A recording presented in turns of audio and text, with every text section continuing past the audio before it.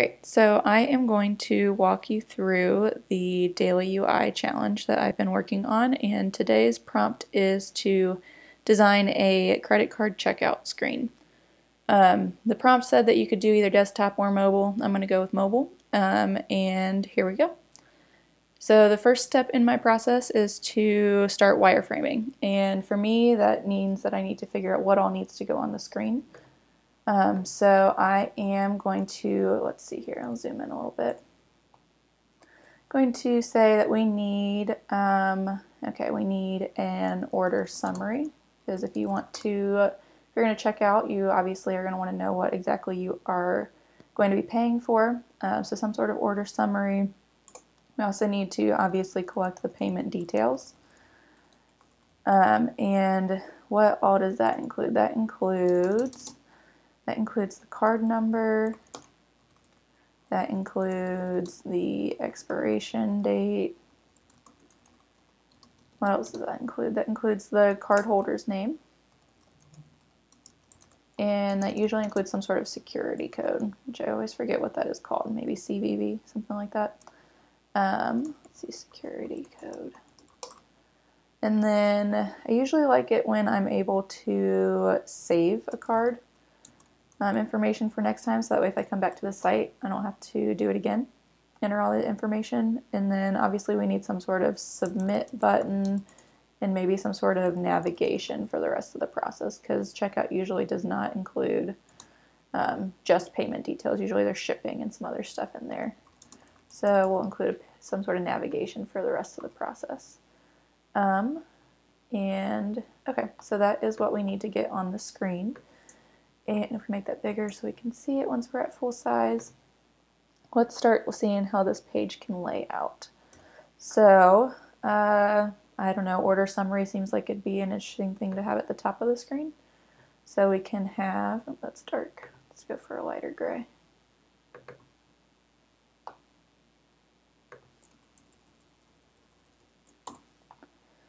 Um, we'll do an order summary here. And we'll do payment details down below that.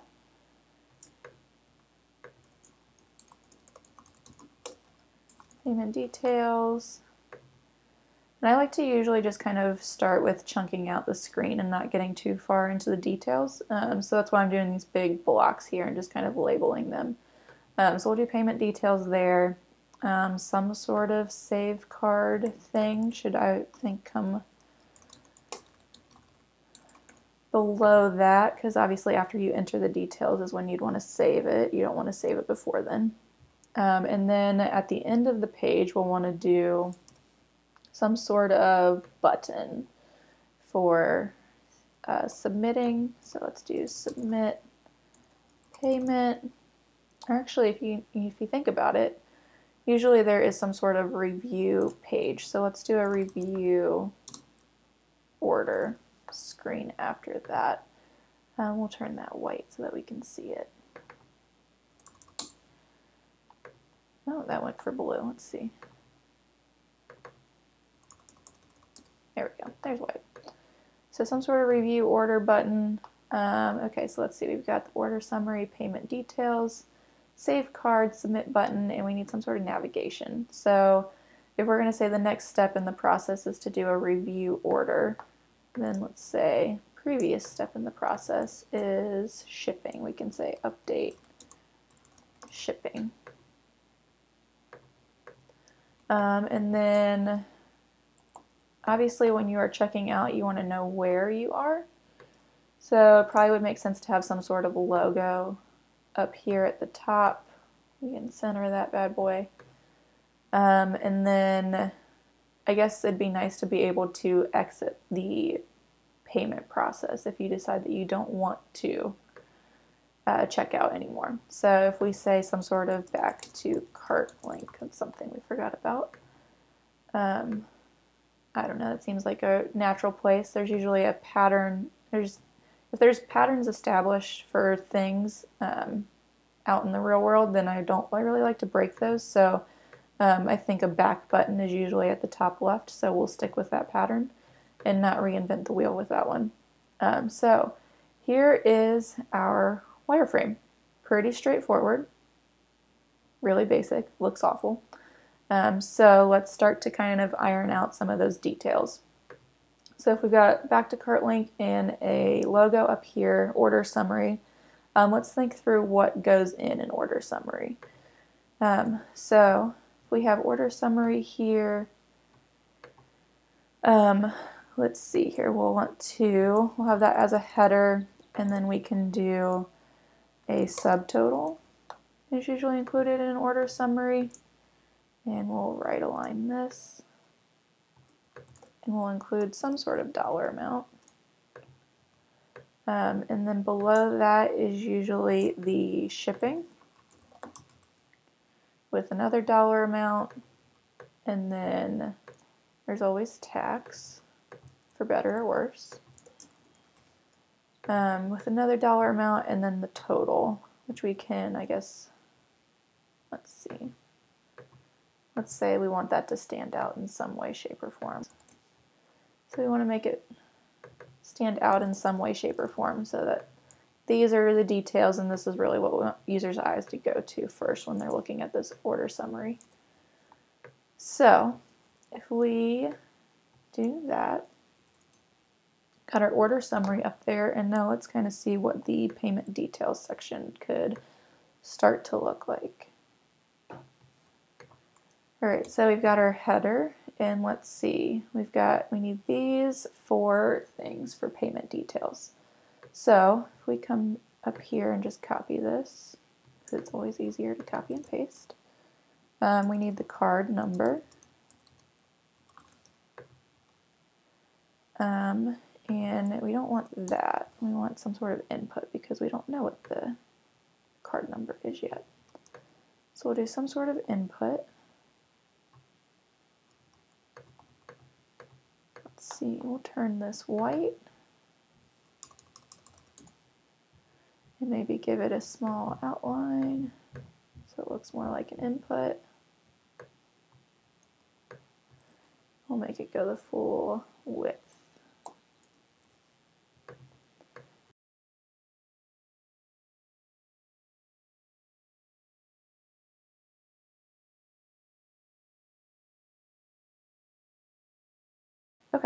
So this is starting to look a little bit more like a screen that you would actually see in production.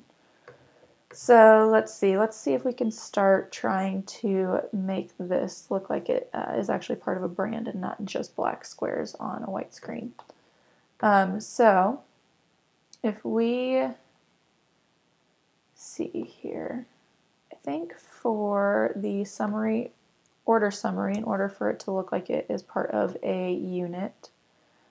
I'm going to put a bordered box around here because we want it to stand out as a, uh, a, a chunk of information, but we don't want it to be the first thing or necessarily the primary thing that users look at. So let's see, we will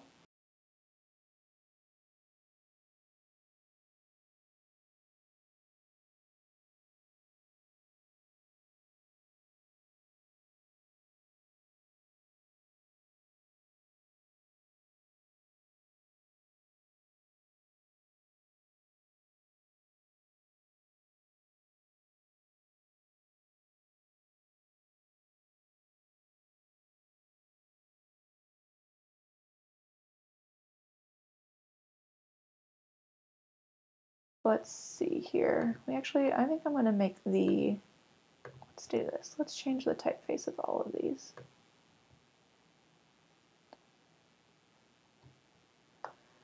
Alright, so we'll deselect all the shapes. And we'll say we want this to be, let's go with DIN. Why not? It's a nice typeface. Um, okay, we'll pick DIN light.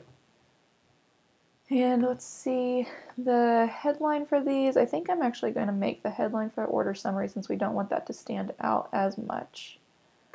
Let's do more of like an H5 or 4 or something kind of style where we make it less prominent. We can go with bold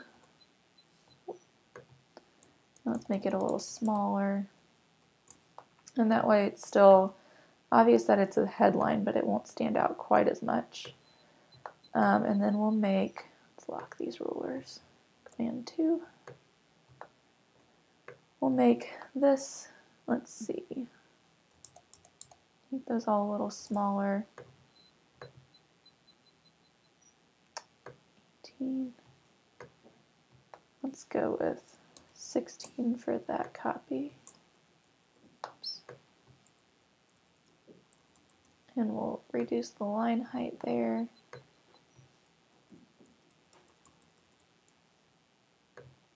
And then we'll bump this guy up. I think I'm going to, let's see, make this type size the same, but we'll make him a little heavier. And then I kind of like this total being larger so that it's obvious that that's what we want users to look at first. So I'm going to center align those and bump that up a little bit. And that gives us a little bit more screen real estate as far as the rest of the screen goes because we don't want order summary to take up all of it since it's not the most important thing on the screen. Um, so we'll do that. Um, and then with payment details, the header, we do want that to stand out a little bit more. So I will just kind of bump that down a little bit. We'll go to, I don't know, 28. Seems like a reasonable size. Um, we'll give some nice breathing space here. And then, let's see, for the card, let's see, not the card, the payment details themselves, pull that up a little bit. Um, and it feels a little silly to have such a large input for both the expiration date and the security number. Um, so I think I'm actually going to, let's see, let's see if we can save some space here. And we'll actually bump these over and do more of an inline input style. Um, so if we get those lined back up with our content ruler, and then let's bump these down a little bit. Go down to 16 so we match these. Um, and we will reduce the space between them so that they feel a little bit more like a unit. Get a little more breathing space. Perfect. And now that I'm thinking about it, we actually might want to add a header up here so that you know where you are as a whole. Um, so let's say, let's call it checkout. Seems pretty reasonable. Um, and let's put that right there. We'll line it up against our content ruler. Um, cool. So we will do that. Move this down a little bit. Give our buttons a little bit of breathing room from the bottom. Sorry, I'm just playing with spacing here now. Okay, um, so for payment details, I'm still not loving how this is laying out. So if we make these inputs a little bit less intrusive, obtrusive, what's the right word? Not sure. Um, and let's actually do more kind of more of an implicit input rather than having it be this giant box. And we'll say well, let's do a rule between each of the fields.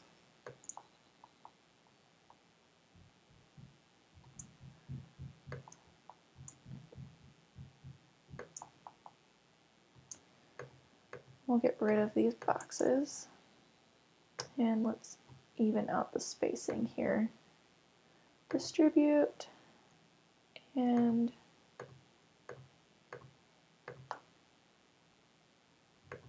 distribute. That didn't do anything. Okay, let's do, oops, bump that up so that they're centered vertically. Alright, we'll do that.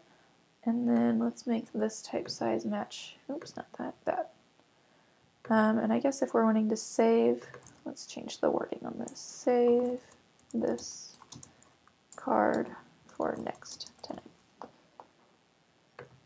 Um, and we'll, we're changing the language on that so that it's even more explicit what a user is going to be doing instead of just saying save the card info. making it obvious what are you saving it for.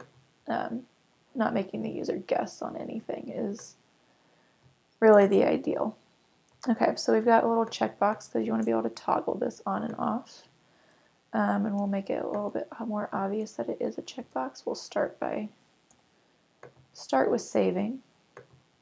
So there's our check. And we will center that vertically and horizontally. And just because we're going with the rounded corners everywhere else, let's do make this check a little softer, maybe a little heavier. Um, okay, and so let's group that so that they stay together. And let's left align, or right align it, line up my directions. Right align it. Um, and let's see. What else can we do? This is feeling a little tight up here. Let's play with that a little bit. Pump that down. Um, and then we'll bump this down to accommodate for that. And let's see. Let's let's put in a little bit of content here. So if we are going to be, see, we'll bottom align these or baseline them. And cards, usually when you are checking out for security purposes, they are only showing you the last few digits of your card number. So I'm going to stick with that pattern for security purposes. Let the user know that we are a secure place to be giving their information to. And so let's do distribute these guys. And then cards are what? Usually four sets of four digits, so 16. So we'll do three sets of dots and then only expose the last set of numbers. And then we'll distribute these for even spacing. Bump that out. Okay, so there's that. And then for expiration date, space align those, and we'll just put in some fake date. What? We'll say October of 23 seems like a decent date for this card to expire. And then we are going to put a card holder's name in there. Let's see, card holder, Cardi Mick, card holder. Why not? And then, okay, so for a security number, that is also usually, what is that word? Hidden, I don't know, whatever it is. It's normally secure. So let's put that over here. And that's usually only three digits, so we'll get rid of one of those. And this is feeling like it's a little bottom heavy, so let's bump it up a little bit. And we'll center align those guys. Wrong one, this guy. Maybe? Feels decent. Okay. Um, so there's that. We've got our information in there. And let's do our buttons now.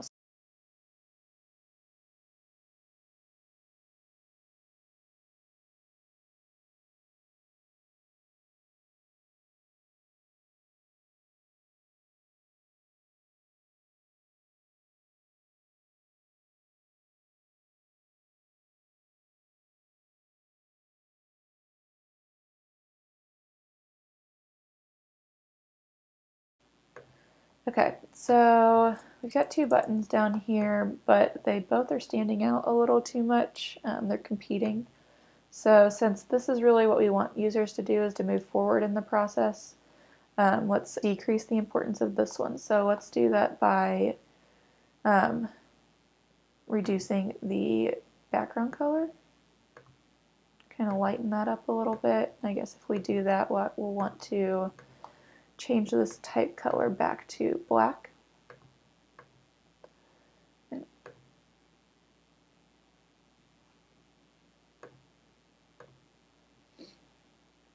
back to black and I think that that reduces it a decent amount. Let's uh, go one shade lighter on the background here. Seems right. Um, okay, so only thing we haven't touched is this fictitious logo and this back to cart link. So let's do the back to cart link. We want to, um, in order for users to exit the checkout process, if you're thinking from the standpoint of the store that we're at, we want the exit process to be uh, probably the least important thing on the page. So we're going to make it a little bit smaller than our body copy. Um, we're going to keep it the light font weight because it um, decreases importance as well. The weight of the type. Let's see here, we'll go maybe, we'll stick at 14, that sounds good. Um, and then to make it clear to users that this is kind of going backwards in the process, let's add a an arrow in here. Let's see, let's go for, oh, wrong one. Let's go for this guy. We'll go a little bit heavier and we'll rotate it so it's actually going in the right direction. Um, let's see here. We will center these guys up and make that a little bit closer so it feels like a unit. And there's our back to cart link. But I think we can make the language even shorter that it gives less, it takes up less space and therefore less in the hierarchy. Um, so let's do that. That seems reasonable. Let's line that up with our content ruler. And a little bit more white space there. Okay. That looks good. Okay, so we've got our wireframe. Bump that back up a little bit. Um, and then, okay, so we've got our wireframe. And now we are going to kind of put a brand on it. We've kind of started to get this look and feel with the softer corners and the rounded, um, or I guess the pill buttons and the rounded corners here, but let's start adding some color. Um, and I want to keep this pretty clean. Uh, let's see, what color do we want to do the stroke? Let's do, let's do this. How do we want to do this logo? Let's do something really simple and basic. Just some shapes as a placeholder. So we can bump that up, stick with the soft edges. Let's make an X. Copy, paste, and rotate. We've got our X. Um, I don't know, let's do a little bit more, something that's slightly more interesting. We can do, oops, scale this back, we'll do two X's and then scale. We'll keep our, uh, let's go down, but that looks good. Okay, just nest those in. That seems like a reasonable logo for our fictitious store here. So if we want to pick some colors, I'm just going to go from the palette to keep it simple. Uh, let's make the orange the primary color. We'll do green as the accent. Seem good? Cool. Okay, so we'll group those and let's drop that in as our logo here. Make it a little bigger. Sound like a client, right? Make the logo bigger. All right, so we've got that in there. Center that up. All right, so if we're gonna go with this orange and green color scheme, let's see. Let's make the stroke on this a little heavier in this orange color, yellow orange. We'll give ourselves a little bit more space since we're up in the, the border weight here. Oops.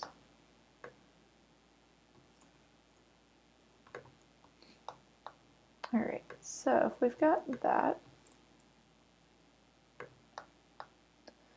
let's do let's come down here. And I don't think I want to go crazy with the colors This is something we want users to look at, so we're going to call some attention to it with the orange outline.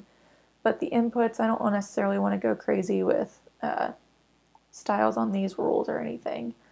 Um, so let's see here. Let's do, let's call some more attention to the actual information here.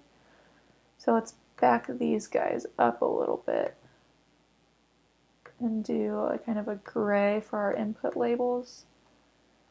And that way the primary focus is on the content that is in these payment details. Um, and so moving on to the saving card, let's do a, we grouped those, so let's ungroup those, ungroup, and let's do the green for our check mark, checkbox here. We'll regroup those. Group.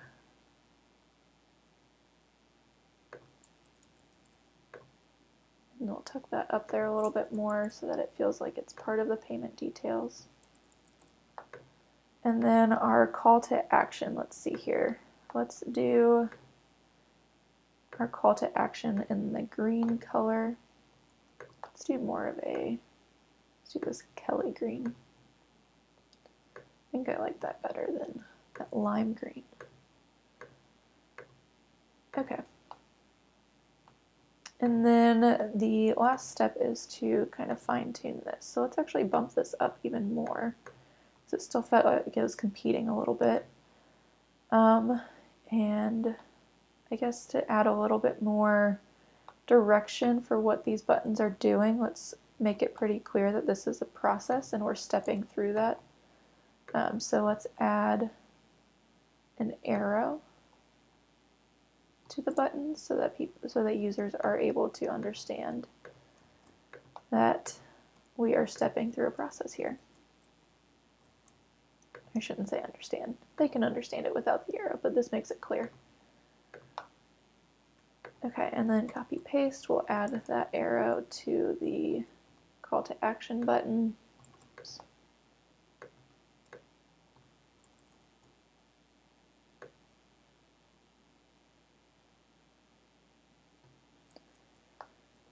And we'll make it white so that it matches the type. Ungroup. Tuck that in a little more. And we'll center these guys up and realign. Awesome. And there we have it. We've got our checkout screen. Um, the next step in the process, I've been doing these and kind of trying to uh, post them to Dribbble as I complete them. So the next step in the process for me is to compose the shot to get on Dribbble. So I'm going to get rid of this and start composing. Um, so our, let's see, like that our screen here is not going to just be on this white artboard, so I am going to create a white background for our screen. Oops. And we will, let's see, group this. And let's change our artboard size to be 1200 by 1600. That's the, oops, did that wrong, 1600 by 1200. That is the size that, uh, the largest size that Dribbble recommends. Um, so we're going to stick with that. And let's get this phone screen a little bit smaller so that it can fit on here. Um, we can get rid of these rules now too. Um, and okay, let's put a background on here so that the it's not bleeding into this giant artboard. So we'll send that to the back and let's do a fill of that green. Maybe we'll lighten it up a little bit.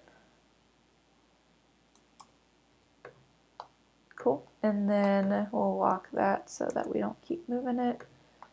And for this phone screen, I think I'm going to uh, round these corners as well, since we've been doing that with the elements in the UI. Um, we'll kind of keep that coming with the uh, Dribbble shot as well. And since we did that, the logo and the cart actually feel like they might be a little high on the screen. Um, and let's make sure these are centered because I don't think they are. Yeah, they are. Okay. So give ourselves some white space with that up here and since we did that let's bump the rest of this down so that we get some breathing room for that as well. Um, and then we can regroup. Let's actually bump these down a little bit. We can regroup and let's see. We want to make sure these are center.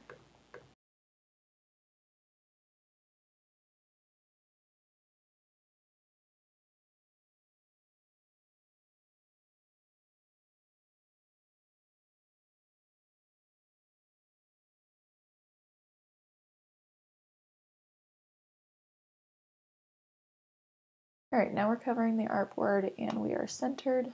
So let's go with that. We'll relock this background. And then in order to add some interest, let's do, let's do kind of a pattern here.